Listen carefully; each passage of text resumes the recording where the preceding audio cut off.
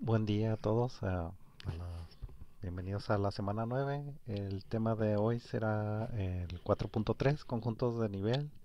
El objetivo pues es aplicar técnicas para segmentar regiones de interés, eh, perdón, en la imagen, utilizando pues lo que es conjuntos de nivel. Ah, vamos a comenzar pues analizando un algoritmo que utiliza esto de conjuntos de nivel para, para hacer la segmentación. Am, y, y bueno, el más representativo de estos es el, el- el llamado Chambis, ¿no? Que es, es un algoritmo famoso de, de segmentación y fue propuesto por, por ah, Chan y Luminita Bis. Y eso se considera también un, un método variacional, ¿no? Que es como un adelanto de- también del tema siguiente. Bueno, la segmentación se realiza mediante la minimización del siguiente funcional. Sería esto, se minimiza lo que es la longitud de, un contorno y el área que encierra dicho contorno y también un, error, ¿no? hay por ahí, vamos a verlo un poco mejor aquí. Ah, C sería el contorno, aquí en, esta imagen sería el punto, la zona roja, eh, la línea roja que, que encierra esta región. C1 es el promedio dentro de la, de la región blanca y C2 sería la región negra, ¿no? Sería las regiones entre un objeto y otro objeto. En este caso, pues es ah, fondo y, y un solo objeto. Ah, y, y bueno, lo que se quiere minimizar es el, el área del contorno, ah, que encierra el contorno, perdón, y en sí también la longitud del, del contorno. Sí, esta mm, te empieza con, con un contorno X que podría estar afuera, así grande, entonces lo que hacen es ir cada vez haciéndolo más pequeño hasta que encierre eh, un, un objeto, ¿no? Como decir, como que comprima el objeto, ¿no? Que no quede suelto. Por eso quiere una longitud mínima y también eh, el área pues la quieren mínima, ¿no? Estas dos, estas dos integrales lo que hacen es que miden el, error adentro de C. ah, quieren que todos los píxeles que están dados por U0, que es la imagen, dentro de esta del objeto, pues ten- tengan casi una misma intensidad C1, ¿no? Que sería la, intensidad promedio. E igual fuera de C, pues quieren que todos los píxeles tengan una misma intensidad. Con este error lo, lo consiguen. Am, bueno, sin embargo, la minimización directa del funcional anterior es, es difícil de hacer, ¿no? Y también para expresar lo que es el contorno y la longitud eh, es difícil, ¿no? Por lo que Chan y Bis propusieron expresar la ecuación anterior, anterior mediante conjuntos de nivel. Vamos a ver entonces un poco qué es esto de los conjuntos de nivel. Bueno, eh, la dificultad es expresar los contornos y luego la evolución, ¿no? La evolución de, de un objeto conforme el algoritmo, ¿no? Entonces, lo que hacen simplemente es que definen, por ejemplo, estos objetos de aquí como el, un conjunto de nivel de una superficie, que sería esta en rojo, sobre ah, el nivel, este. Este plano se consideraría lo que es el nivel, sería el nivel cero. Entonces tendríamos aquí el nivel cero y si se fijan esto, los conjuntos que están, que intersectan el plano son estos mismos, ¿sí? De la superficie, serían estas dos, estos dos pedazos, ¿no? Aquí la superficie se va bajando, el, el conjunto ahora el cero se baja un poco y ¿qué pasa? Va aumentando esto, incluso se van a ir pegando. Aquí más abajo se baja un poco más el plano y ahora tenemos este conjunto, ¿no? Por lo que es eh, usando estos conjuntos de nivel, una superficie y un plano para el nivel, puedes expresar objetos y su evolución. Entonces esa es la idea de los conjuntos de, de nivel. Ah, en el paper también hacen uso de la función escalón de Heaviside. Es, bueno, imagino que sí la han utilizado antes en sus cursos, eh, pero si no, la función simplemente es para valores negativos es cero y para valores positivos es uno Y así este uno continúa hasta el infinito, igual aquí es cero hasta el infinito, ¿no? Entonces es una función muy sencilla y muy utilizada, ¿no? La función escalón. Ah, también otra función que se utiliza mucho es la función impulso. Y resulta que la función impulso, que es solamente una flecha hacia arriba en cero, pues es la derivada de la función escalón, ¿no? Lo cual tiene sentido, ¿no? Aquí no hay ningún cambio en la función escalón, por lo que su derivada es cero. Aquí en cero hay un cambio de 0 a 1 o de 1 a 0, ¿no? Por lo que hay, aquí hay un impulso en su derivada. Aquí igual no hay nada, no hay nada de cambio, por lo que la derivada es cero, por lo que solamente la derivada es el impulso. Y bueno, algo más que necesitamos es que ya, ya tenemos el nivel 0 aquí definido de, y la superficie, ¿no? Supone que hay una forma fácil de encontrar esta superficie que concuerde con el objeto. Ah, vamos a utilizar la función de Heaviside y se fijan si aplicamos la función aquí ah, sería por ejemplo en nivel 0 todos los puntos si este es el nivel 0 todos estos esta parte de la superficie que sobresale del plano es positiva ¿sí? aquí son valores positivos porque están arriba del 0 ¿sí? y estas, esta parte de la superficie si que llevamos para acá está abajo del 0 sería negativa por lo que al aplicar la, función de Heaviside a esto ah, acuérdense que si es positivo es 1 y si es negativo es 0 entonces al aplicarla obtendríamos esto no aquí serían 1 sería esta parte y toda la parte que está acá de la superficie abajo del plano pues sería 0 que sería negro entonces esto nos ayudará a expresar Ah, en la ecuación que vimos ah, mediante la función de Heaviside y una función phi.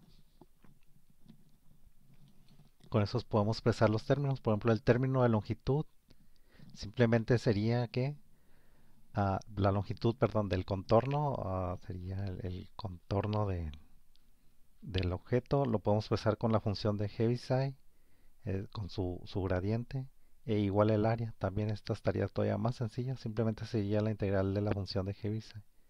Y aquí tendríamos las, las demás, ah, el resto del, funcional. Vamos a explicar cada una de ellas, ¿no? Ah, por ejemplo, para la función de, longitud, que sería, sería el borde, ¿no? El borde o contorno del objeto este blanco.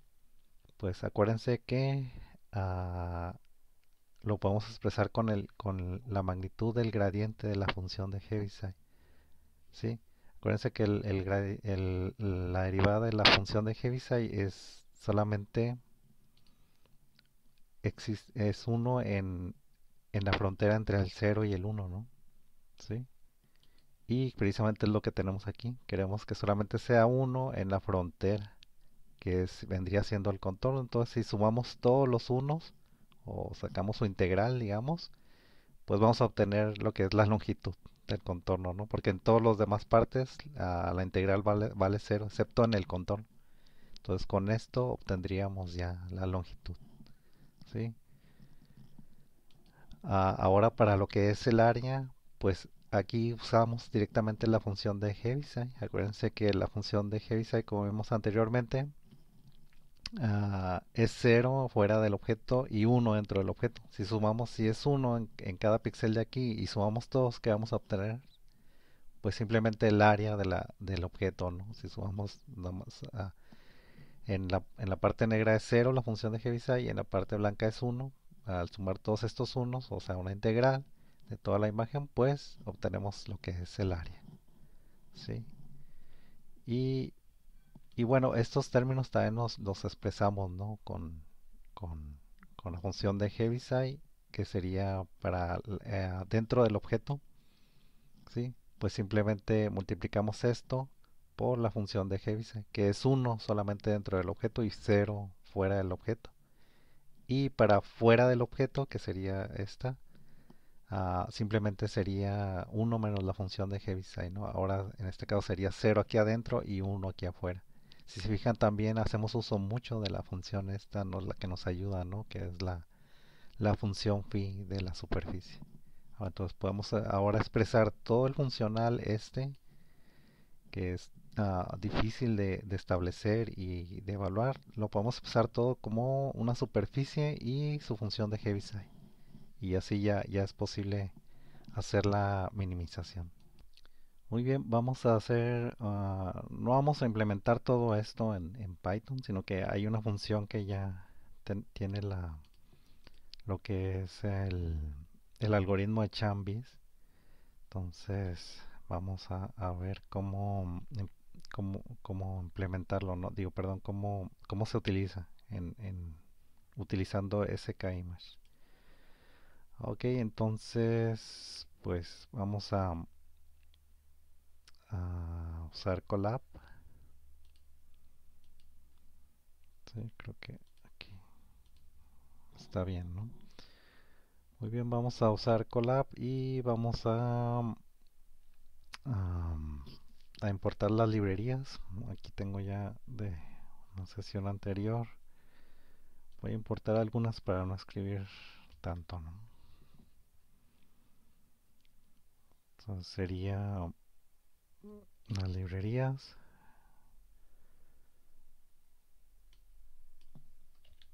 Ah, voy a usar aquí importamos lo que es el chambis que es de está en la en SK image pero la librería segmentation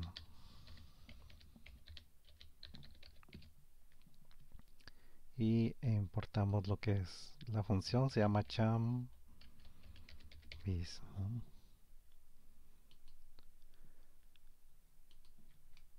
ok entonces lo, lo, que voy a hacer pues es a cargar una imagen de de de la librería data de skimage entonces voy a ponerle im igual a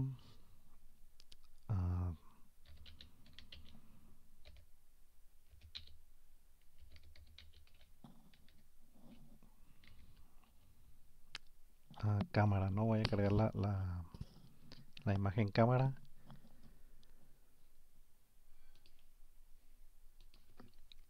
Ah, muy bien, vamos a visualizarla.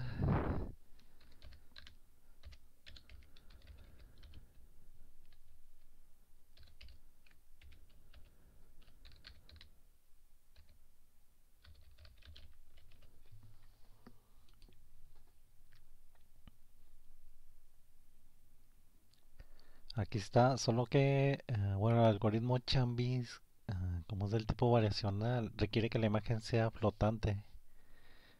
Por lo que vamos a, a importar una función que hace las imágenes flotantes. Entonces,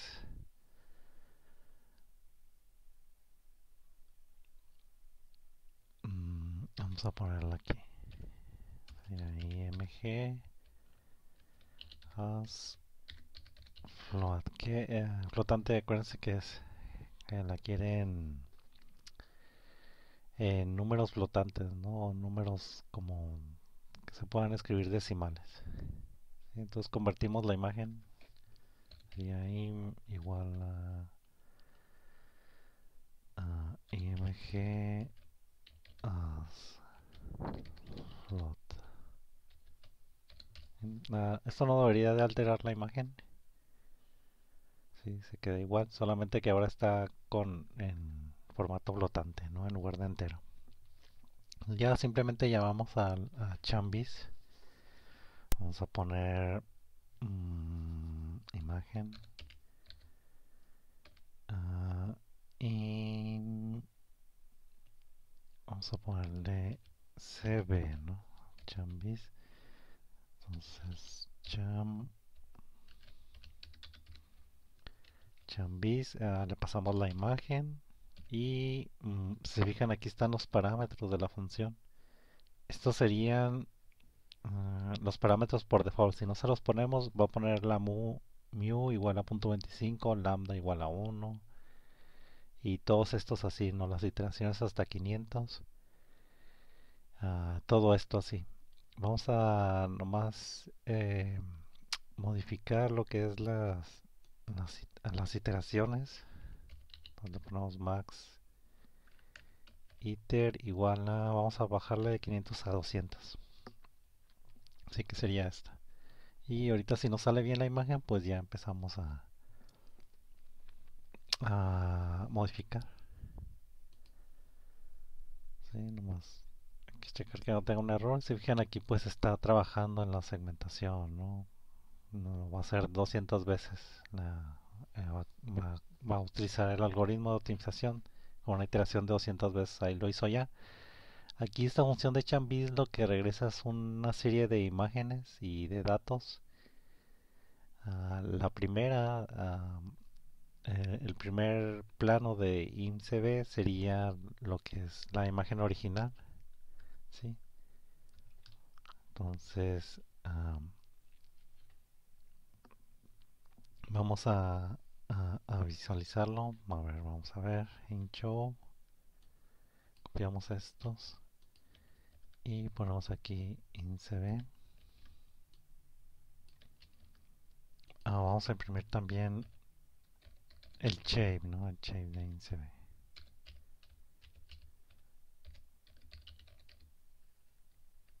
Y aquí pues vamos a darle 0.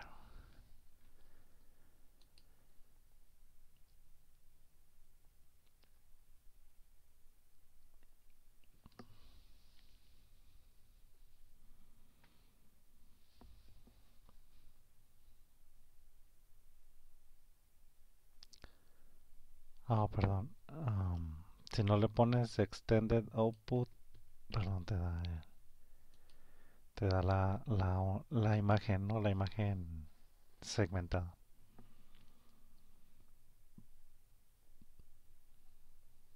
Sí, aquí está la segmentación de Chambis.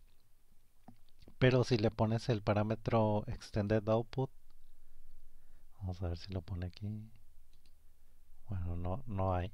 Si usas lo que es extended output de la función, si se fijan aquí está, está en falso por default, vamos a ponérsela true, nos da más información del algoritmo, ¿no? Entonces vamos a ponerle extended. Aquí está, ya lo agarró, extended output, vamos a ponerlo a, true. ¿Sí? Aquí en este caso ahora sí, este va a ser un arreglo entonces hay que ponerle ahora sí un 0 aquí.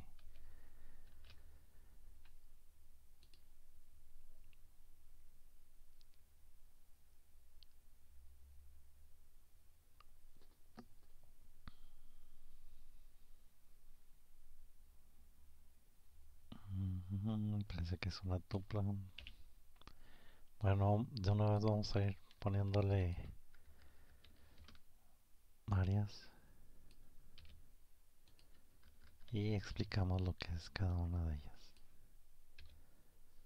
Recuerden, si le ponen, si no le ponen extended output es por default false y solamente les va a dar la imagen segmentada, que al final es lo que queremos. Pero si para analizar un poco más vamos a darle estas, ¿no? Por ejemplo, el extended, si le ponemos extended output true, INCB nos va a dar una serie de, de datos. El primer dato de ellos pues sería la imagen seg segmentada, ¿no? sería la imagen segmentada. El segundo dato sí nos, nos, daría lo que es la imagen, pero el conjunto de nivel. ¿sí? Si fijan, este fue el conjunto de nivel como se quedó al final. Esto fue lo que encontró. Esto es lo que estaba utilizando el algoritmo de conjunto de nivel. La tercera imagen marcó error porque, bueno, no, no es una imagen, sino son las iteraciones. Creo que para esto hay que ponerle plot. Plot.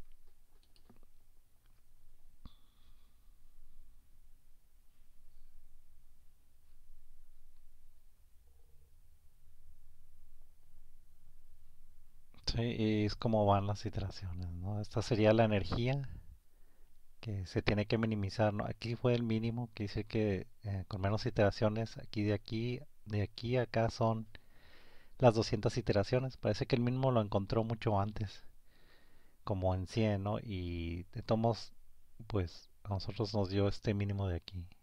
Pero hay uno mejor de este lado. Vamos a, a dejarlo así, ¿no? Entonces, esta sería lo que es la minimización por Chambis y uh, con esto pues concluiríamos lo que es la la semana, la semana 9. Muchas gracias.